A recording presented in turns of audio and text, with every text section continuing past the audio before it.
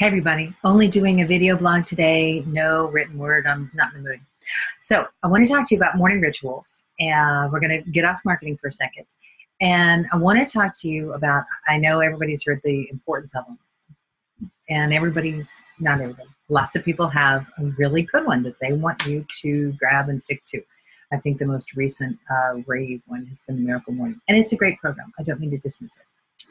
But here's what I want to say to you. Habits are personal. And you have got to make it your own. You've got to modify it or tweak it and even if it's just in the tiniest way so that it really suits you.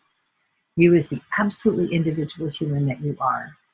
Uh, it's it's a miracle how god created us to be all so similar and yet absolutely distinctive. But we are.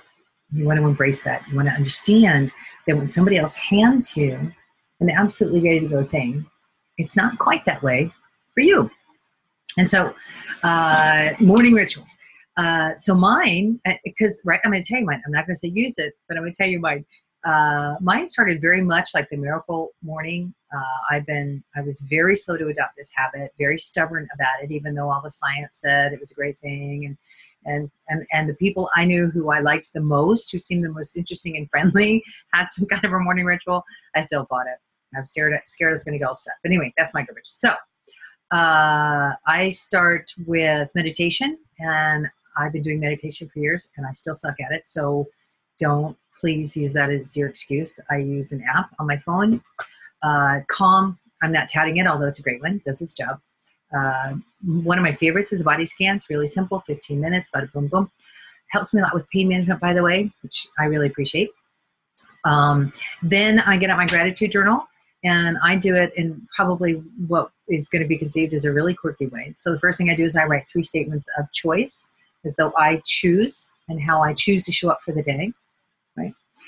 Uh, you know, I might choose intention or clarity or fun, whatever it may be. Three of those, uh, and then I offer some gratitude. Right? I, I thank uh, the universe for the things that are coming my way that I'm looking forward to and expecting. And then I offer three statements of self love, right? Yeah, it can be anything from I love my toes to I love my sense of humor, uh, no comments from the peanut ground, uh, or whatever it may be. Uh, also, by the way, at the end of the day, I add uh, three statements of um, what I thought I, I was really good at, or what I contributed, or what I offered, or what I accomplished. Um, and, and, this is um, to support me, to pat myself on the back, to fill me up, because no matter how much we might get that from others, we could always use a little bit more of that stuff. The other morning ritual that is absolutely, absolutely imperative is the one that I use when I get in the office. And that is, for me, super simple, just like my morning thingy. Oh, I like to throw in, by the way, some exercise oxygen, oxygenization of some sort, although that is my least, least favorite aspect of my morning ritual, clearly. Um, I, it's hugely valuable. Okay, morning in the office. Um, so mine is really simple because any of you who have worked with me know that I can't even form full sentences some days.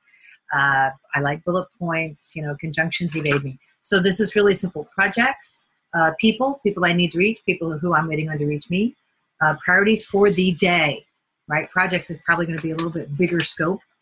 Then I come down here at the bottom at the end of the day um, and I review, I give myself a score. This is not for grading. Nobody's paying attention to the score I got. The point of it is to say, if I didn't make, give myself a great score, what got in my way? So I can learn to get those things out of my way. And then uh, a next, so I can walk in tomorrow morning with already a little bit of focus, a little bit of a, oh yeah, pick up where I left off kind of a thing. Stuff that dangled and, and new stuff that might have shown up throughout the day as well. Uh, so clearly this part is not done because it's not the end of my day. Uh, one page, really simple. Some people I know write novellas. Uh, there are lots of different ways to go about it. Uh, this is one of the few times I actually write. Uh, if again, if we've worked together, you know about my opinion of the value of the hand-eye science, writing, all that junk.